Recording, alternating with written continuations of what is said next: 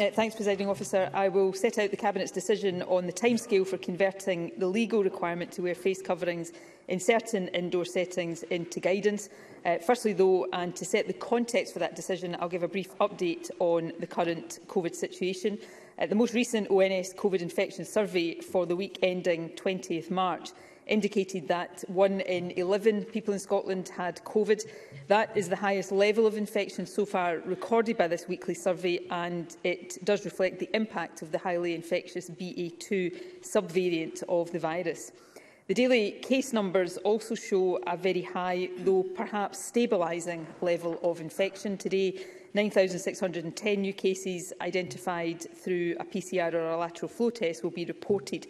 Uh, again, though, it's important to set these figures in some context. Two weeks ago, there were, on average, just over 12,400 new cases being reported each day. One week ago, the average case number was still high at around 12,000 a day but over the past week it has fallen to 10,200 a day, which is a 15% reduction in the past seven days, and the reduction is fairly consistent across all age groups. So that does give us grounds for optimism that this latest wave of infection may now have peaked. Of course, the daily numbers on their own need to be treated with a degree of caution but the result of wastewater sampling, which is an important strand of our ongoing surveillance, also gives some cause for optimism. It's not yet indicating a fall in the level of infection, but it does suggest that the situation has stabilised since mid-March. Uh, we'll therefore continue to assess the data closely, including, of course, the results of the latest ONS survey, which are due later this week. But we are hopeful that this wave has peaked or is now peaking, Indeed, this is being observed already in Northern Ireland, which, unlike England and Wales, appears to have been ahead of Scotland in the transmission of BA2. Although the BA2 variant is highly infectious, indeed more so than the original Omicron variant, it is important to stress that vaccination continues to provide strong protection against serious illness, uh, which of course underlines the importance of getting all doses of vaccines that we are offered.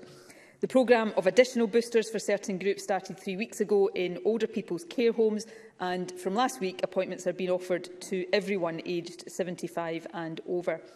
People with suppressed immune systems will have appointments for additional boosters scheduled during spring and summer starting from the 18th of April and appointment letters will be issued by post. Anyone who is unsure about eligibility for an additional booster should of course contact their doctor for advice. In addition, the vaccination programme for 5 to 11-year-olds is underway. Children in that age group with specific medical conditions and those who are household contacts of someone who is immunosuppressed were already being vaccinated in line with JCVI advice. Uh, vaccination of the wider 5 to 11-year-old age group started on the 19th of March and that will continue over coming weeks. Older children are being given appointments first, but families are being invited to get vaccinated together whenever that is possible. Obviously, with case rates being as high as they've been recently, some young people who are invited for a vaccine will recently have had COVID, so I want to briefly summarise uh, the guidelines for those circumstances. Those aged 5 to 17 who have specific medical conditions or who are household contacts of someone who is immunosuppressed should wait four weeks after first testing positive or from the onset of symptoms before being vaccinated and four weeks is also the recommended gap for adults who get the virus. All others aged 5 to 17 should wait 12 weeks after having the virus before being vaccinated. Uh, parents or carers of children who have been unable to be vaccinated due to having COVID uh, should call the helpline on 0800 030 8013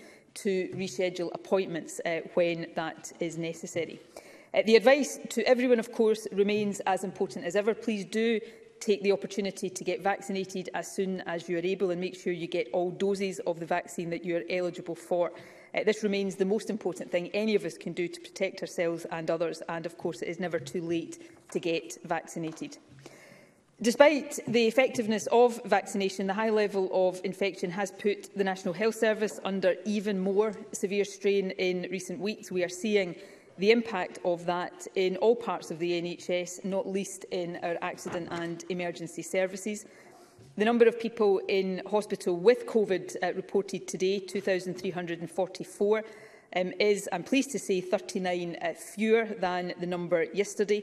Uh, but yesterday's figure was the highest it had been since the start of the pandemic. So today's number is still exceptionally high and it is significantly above the previous peak of hospital cases, uh, which was 2,053 back in January 2021. Uh, more positively, and again, this is evidence of the power of vaccination, the number of patients in intensive care with COVID remains relatively low, at 26 on today's figures, which is a fall of 15 in the past two weeks.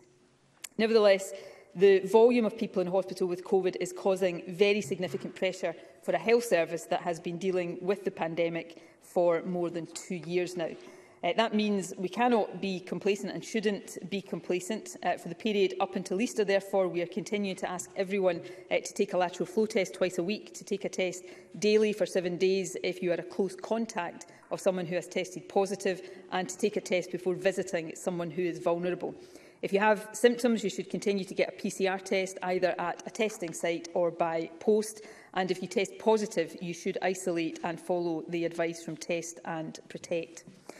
Using the approach set out a few weeks ago in the revised strategic framework and based on the Government's clinical advice, our assessment is that the virus at this stage continues to present a medium threat. However, we do remain optimistic that it will move to being a low threat during the course of this spring. Uh, we have, of course, already largely moved away from reliance on legally imposed protective measures and are now relying instead on vaccines, treatments and sensible public health behaviours and adaptations.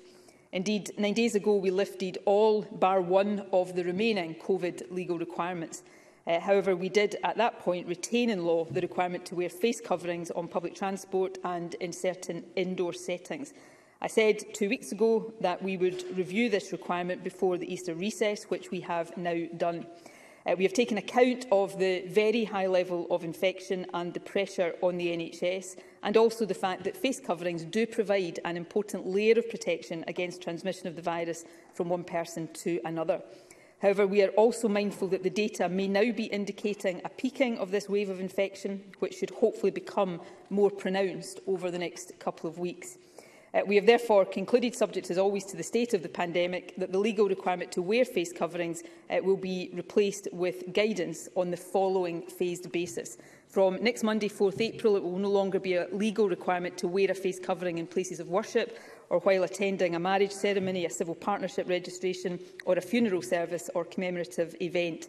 And then the wider legal requirements applying to shops, certain other indoor settings and public transport will be converted to guidance two weeks later on the 18th of April. Uh, we will, of course, continue to encourage the wearing of face coverings in certain indoor places, especially where significant numbers of people are present. This phased approach strikes, I think, a sensible balance between our desire to remove this one remaining legal measure and the common sense need for continued caution, not least for the sake of the NHS, while this wave of infection does subside.